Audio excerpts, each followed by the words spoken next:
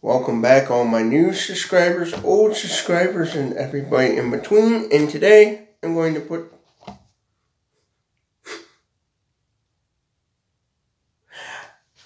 I'm getting fucking sick and tired of this goddamn fucking camera wanting to fall over.